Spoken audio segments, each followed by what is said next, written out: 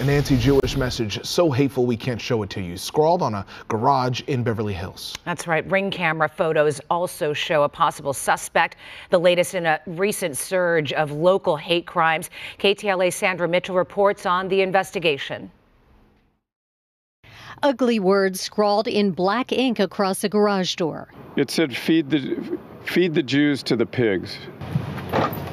Scott Schulman discovered the disturbing message over the weekend. I feel targeted because I'm a Jew and I go to synagogue, and uh, it targets my people, so I do feel targeted. For many years, Schulman worked as a network news photographer covering wars in Gaza, Iraq, Afghanistan. He never expected this hate in his Beverly Grove neighborhood.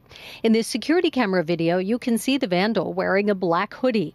Schulman put up signs around the neighborhood, and in the police report, LAPD calls the incident a hate crime. People are on, on edge. Oriana Lowenstein is the Deputy Regional Director of the Anti Defamation League of LA. She says hate crimes targeting Jews are way up. We've seen an explosion of anti Semitic incidents.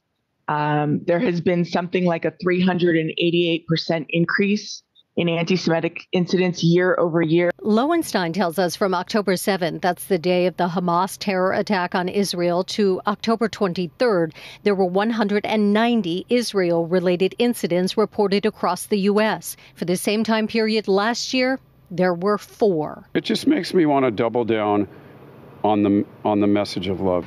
Back in Beverly Grove today, LAPD is increasing patrols, and Schulman says he'll continue to advocate for peace. Th- these are not problems that can be solved with armies or with guns or with bombs. It can only be solved with love. The, the outpouring of love and support from my community, which includes Muslims and Jews, has been exceptional. Schulman tells us he does not know why his garage was targeted, but he also says that LAPD is taking this very seriously. They've been out here several times. They have not found any other incidents of hate crime vandalism, but they also do not have any suspects. In Beverly Grove, I'm Sandra Mitchell, KTLA 5 News.